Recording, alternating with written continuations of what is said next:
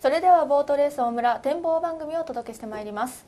解説をしていただきますのはスポーツ報知の長谷明則記者です。長谷さんよろしくお願いいたします。よろしくお願いします。さあ6日間開催で行われています。G1 第67回九州地区選手権。本日2日目を迎えました。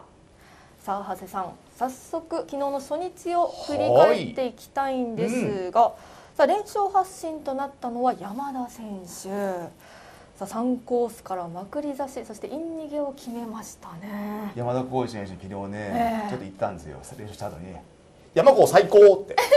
ただね笑ってました。なんか前回大村来た時によく言ってましたね長谷さんね。山田浩二選手本当いい走りしてましたね。見事でしたね。そうでしたね。さあそして2走2連隊の好発進を決めたのが地元の榎木選手となっております、うんさあそして注目の発祥地ドリームですが、はい、えー、1号艇原田選手が1着人気に応える形となりましたね。スタート決めましたね、えー、トップスタートでした。でもセンターから桑原優選手が伸びてきたのはあったけどやっぱりしっかり回りましたね、はい、そうでしたね。本人がねレース前はね不安だらけだったらしいんですよ。なんかしっくりこないしっくりこないって。でもなんとかいい人はいるけど、えー戦えるかなでも本人はね、まあ、徐々に良くなる気がするよとは言ってましたけどね前向きなコメントも出てますね前向きだったね、うん、でもあの初日はドリームはやっぱ桑原優選手が目立ったかな、でもしっかりね地元ワンツーと結果になりましたよね。そうでしたね。でまた三着争いが面白かったですよね。そうでした。でしたけどね。はい。瓜生選手とね岡崎選手がね、えー、接戦でしたね。そうでしたね。さあ結果岡崎選手が3着に入りました、はい、さあそして長谷さんも昨日の展望番組で予想をいただき見事的中となっております。もう前節がひどかったんでね。いやいやいや。一つ当たってねほっとはしてるんですけどね。でも前節最終日ずっと当ててましたよね。そう。ね。いやでもこのね毎日展望でね、はい、もう本当に皆さんご迷惑かけてるんでね、それからとにかく返したいと思ってるんですよ。今節じゃ頑張っていきましょうね。さあそして今節はダブルドリームが組まれています、うん、え本日の第12レースでカステラドリームが行われます。えそちらもぜひご注目いただきながら本日も一日お楽しみください。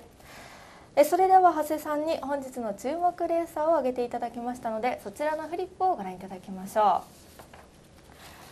さあ本日の注目レーサー第12レースカステラドリームに登場いたします峰竜太選手を挙げていただきました。注目ポイントお願いします。人気者対決はコース不問で無双峰。あ人気者対決と言いますと？先ほどはなんかあのオールスターの中間発表がね、はい、あったあったんですけどね、うん、1位はまあいつも通り峰選手ですけど、はい、2位は西山選手でしたねそうでしたね。地元の若松開催ということもあって、えー、それもそんなに差がなかったんですよね。300ぐらいの差でしたかね。もう本人もね昨日はねもうずっと言ってましたもうオールスターあるんですよ。オールスター。だから僕これ活躍しなきゃいけないんですよって。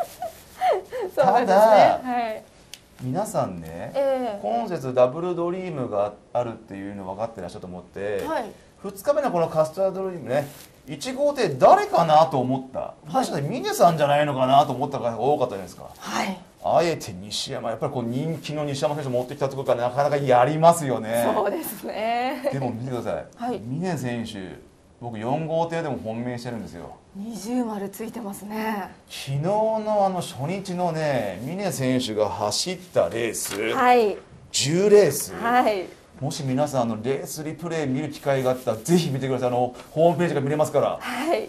すごかったねあのまくり差しいやかっこよかったですあれは。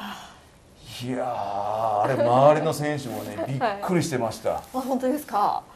さすが賞金王だなってみんな言ってましたあれ いやもうしびれましたよね。だって峰選手悪いけどこれワーストクラスとか低調期なんですよ。そうなんですよね。本人もねそれ自覚してたんですよ、うん、ただ昨日は下がることはなくなったと、はい、出足は悪くない。ただいい人とは差があるとは思いますただまだまだね船足は物足りないけどあのレースも本当峰選手っていうのはこの最近の SJG1 でね1号艇じゃなくても本命にできる選手なんですよすごいことですよねそれは。すごいやっぱ昨日のあの幕出し見た瞬間やっぱあやっぱ峰だなと思いました、はい、出てないのに、しっかりまくり出していって1着。ここのね、はい、12列メンバーの気力をまず言うとね、えー、西山選手、はい、出てないんですよ。初日まさかの5着5着、はい、本人は僕のイメージは初日は2着2本ぐらいは取れると思ってたらしいんですよ。スタート時起こして泣くし、はい、行き足も悪くて全体的に良くないと。泣くのは起こしだけじゃなくて僕も泣きたいって言ってました。泣きたいただ彼はね、うん、せっかくでも僕はこうやってドリームの1号艇に選んでいきたいだと、ええ、取り返しますよと燃えてはいました、はい、だから今日も時間があるので、はい、できる限りの整備はする、うん昨日も整備しまくってたんですよ、はい、すね、試運転行ってはもう一回整備して整備して試運転してずっと繰り返したんですけど今日もじっくりじっくりするの。はい、こう新人はね深川選手が3号艇なら、はい、そんなにゴリゴリいかないと思うんで枠内の3対3想定でしょう。わかりました。ただね深川選手もあんまり出てないんですよね、はい、ただここは出てる選手がいなくて下條選手峰選手篠崎元選手、はい。えー、小野選手、はい残り4人もね普通くらいなんですよ。なるほど。エンジン評価で20丸つく人はいませんね。だからここはもう峰選手のスピードテクニック、ええ、とインから逃げる西山選手の争い、はい、なるほど。だから4114を折り返してます、はい、でも峰選手の先ほど何度も言ってますね。すごい幕出しだったんで、えー、ここもありそうなので、まあ、425から、まあ1まあ、この印の曲がった選手にフォーカスを出しましたけどね、はい、4番1番の折り返しから2番5番。そして4番から2番5番の23着に3着に1号艇、うん、西山選手を超えたフォーカス上げていただいております。はいさあそしてここ狙い目も上げていただきました。峰選手ばっかり気になりますけど、えー、忘れちゃならない地元下條選手ですよね。西山選手が出てない状況だったら、はい、ひょっとしたら2コースからまくっていく可能性もある。なるほど。奇襲作っていうかねビューンってまくっていけば、まあ、決まってしまえば面白いかなと思ったので24は全ね、はい、この下條選手西山選手ラインからまあ3着は流す感じのフォースも一応ね抑えたいなと思いますなるほどそう下條選手はね平均スタートも1日と早いですからねやっぱ彼も気合入ってますよやっぱり G1 取りたいっていうの思いが強いからですね。はい。はい、さあわかりました。えー、ということで、えー、本日の注目レーサー第12レースカステラドリームに登場いたします峰竜太選手を挙げていただきましたのでぜひご注目ください。それではいきますよ、はい、せーの。困った時の長谷田のみさあ関節初めての困った時の長谷田のみです。さあ昨日満州決着が2本出ています出ましたね。そのうち1本第3レースで行われたレースなんですけれどもなんと13万周が飛び出しました。あのねそういう船券で、えー、1回でいいからね 300円いや200円ぐらい取って取ってみたいよね。まあなかなかね10万種はあでもなかなかこう G1 じゃね出ませんよね、はい、やっぱり外から絡むっていうで、まあ、展開をついたレースだったんですけどね、はい、やっぱり1号艇が破れて外から来ると高配当にはなりますよね。そうですね、うん、さあ今節あ今日は、えー、どのレースを上げていただいたのか早速フリップをご覧いただきましょうさあ本日の困った時の長谷田のみ第11レースを挙げていただきました。風崎選手が1号艇です、はい、風崎選手はもうね大村を走るたびにまあ強くて勝っててね。本人もやっぱこの豊島谷のレースを走ったばっかりというのがあってね、はい、アドバンテージは十分にありますよね。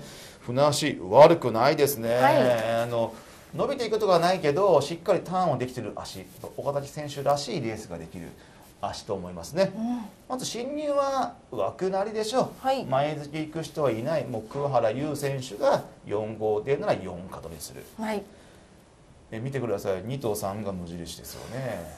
これ大丈夫ですか長谷さん？なんかそう言われると大丈夫じゃないような気がしてくるんですけどね内寄りが強いイメージがありますけれども、ね、もちろん正解です。あの3連単の目でもね、はい、123とかね132とかねあの辺が多いっていうのはもう重々承知してます。はい。岡崎選手がイン速攻を狙う。ただ外でからはモーターのいい選手がずらずらずらと。なるほど。確かに永田選手昨日はね10万種出した選手だけど、えー、あれは展開ですよね、うん、やっぱ桑原選手が伸びるんですよね、うんうん、試運転から伸びるしやっぱり本番も伸びていく。